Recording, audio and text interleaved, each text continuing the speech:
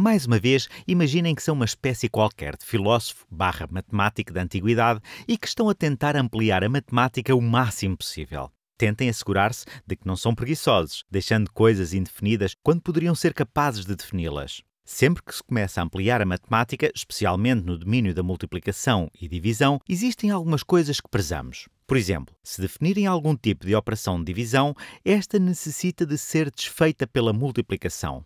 Isso é muito importante.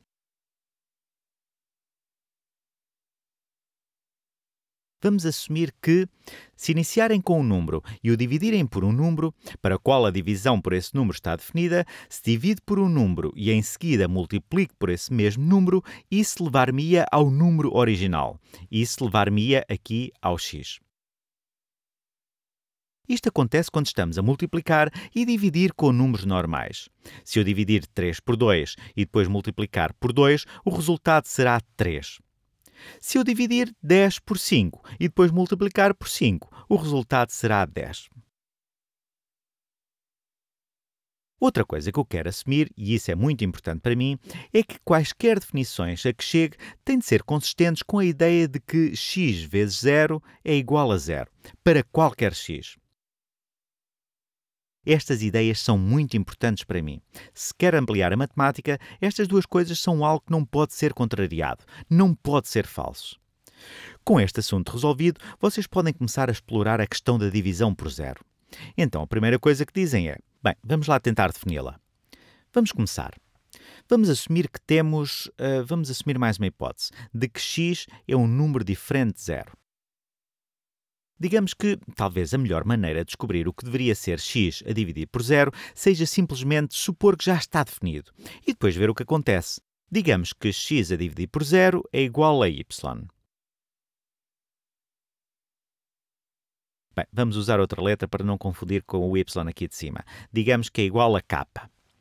Bem, se isso é assim, se estamos a definir aquilo que significa dividir por zero, então quando multiplicarmos por zero, obtemos aqui o nosso número original. Isto é algo de que não estamos dispostos a abdicar.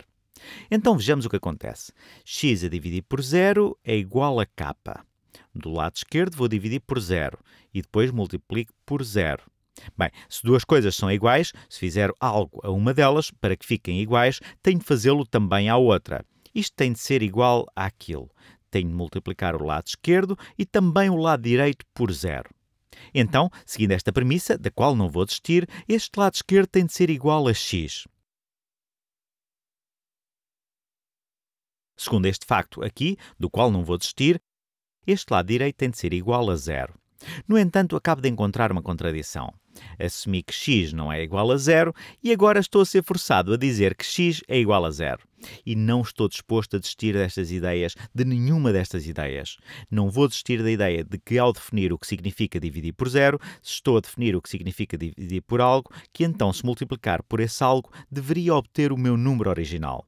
Além disso, não estou disposto a desistir da ideia de que algo vezes zero é zero.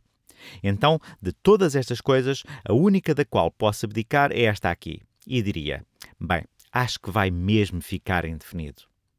Toda esta contradição aconteceu porque tentei definir o que é x a dividir por zero. Muito bem. Esta foi uma situação em que x não é igual a zero. Então, e quando x é igual a zero?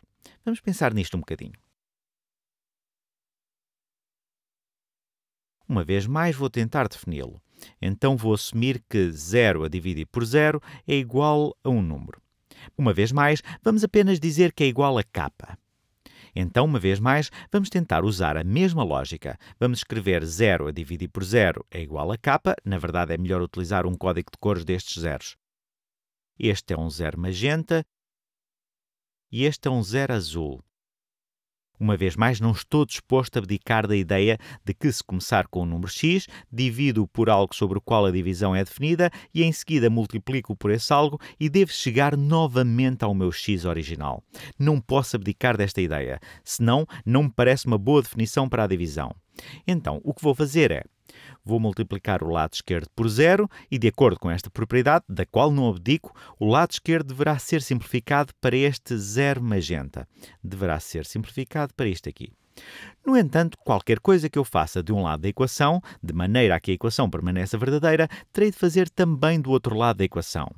Estávamos a supor que estes eram iguais. Para que a igualdade se mantenha, tenho de fazer o mesmo do outro lado. Assim sendo, vou multiplicar também o lado direito por zero. À esquerda tenho zero, tenho este zero a magenta. À direita, podia apenas escrever o zero aqui, mas não vou simplificar. Tenho k vezes zero. Bem, isto é o que temos aqui. Na verdade, isto não é uma contradição. Na verdade, isto é verdade para qualquer capa. Esta é uma das minhas verdades matemáticas centrais, das quais não abdico.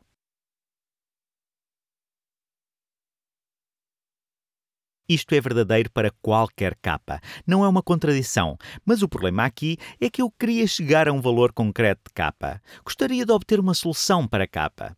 Seria bom se k acabasse por ser 0 ou acabasse por ser 1 ou menos 1. No entanto, agora vejo que, dadas estas premissas, o k poderia ser um número qualquer. Não consigo determinar o que este k deveria ser. Poderia ser 10 mil, poderia ser 75, poderia ser qualquer coisa. Isto é verdadeiro para qualquer k. É impossível determinar o que este K deveria ser, e é por isso que, depois de pensarem um pouco sobre isto, as pessoas dizem: bem, não sabemos qual será o resultado de zero a dividir por zero, ou seja, não existe uma resposta consistente, portanto vamos chamar-lhe indefinido. Não existe uma boa resposta que pareça ser melhor do que qualquer outra resposta. No entanto, agora esta questão é de facto subtil. 1 a dividir por 0 simplesmente não consegue definir-se. Levou a contradições diretas. 0 a dividir por 0 poderia ser qualquer coisa. Não conseguimos determiná-lo. É por isso que, quando se atinge um nível mais avançado na matemática, e vocês vão ouvir isto frequentemente caso frequentem um curso de cálculo, dizemos que 0 a dividir por 0 é uma indeterminação. Curioso isto.